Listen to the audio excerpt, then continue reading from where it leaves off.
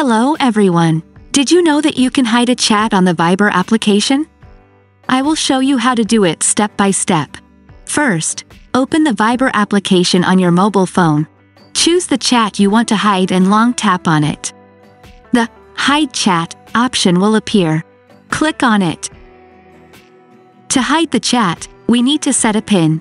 You can hide any conversation from the chat list so that only you can see them using your PIN. Click on Set PIN. Choose your desired four-digit PIN. Make sure to remember it. Confirm your PIN. We have successfully set the PIN.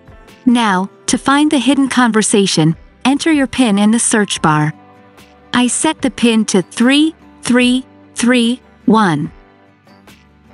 The hidden conversation appears. If you want to view the messages, simply click on the conversation.